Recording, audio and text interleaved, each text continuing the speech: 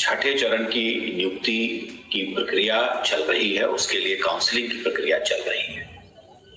और माननीय उच्च न्यायालय के निर्देश के क्रम में हम लोगों को जो स्केड्यूल था, जो काउंसलिंग का, उसे रिवाइज करना पड़ा है।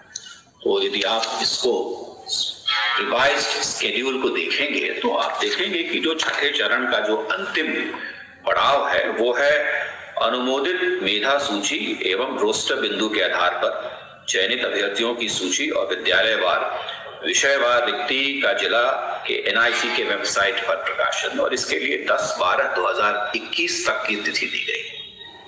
तो ये जो छठे चरण की प्रक्रिया है, ये दिसंबर 2021 तक चलेगी और विभाग का प्रयास रहेगा कि उसके इमीडिएटली बाद जितनी जल्दी हो सके हम सातवें चरण की प्रक्रिया को प्रारंभ कर सके। छठे चरण में हम लोगों ने जो रिक्तियाँ ली हैं, वो 30 जून 2019 तक की ली है तो इस दरमियान जो हमारी रिक्तियाँ हैं, जो दो वर्षों में हुई हैं, उनको भी सातवें चरण में सम्मिलित किया जाएगा।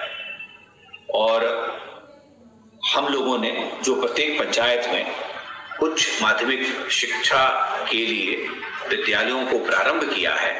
उसके लिए भी हमें शिक्षकों की ज़रूरत है क्योंकि कई विद्यालयों में ग्यारहवीं की कक्षा प्रारंभ किए जा सके।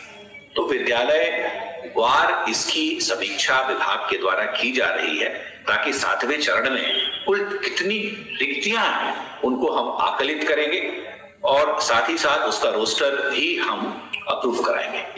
जो भी छठे चरण की रिक्ति है, जो हम नहीं भर पाएँगे किसी कारणवश तो वो आरक्षण कोटिवार उसको सातवें चरण में भी ट्रांसफ़र कर दिया जाएगा। इसलिए हमारे लिए बहुत आवश्यक है कि हम छठे चरण को पूरी तरीके से कंप्लीट कर लें। हम लोग सतत प्रयत्नशील हैं कि सातवें चरण की काउंसलिंग को, उसके लिए जो विज्ञापन है, वो यथाशीघ्र विभाग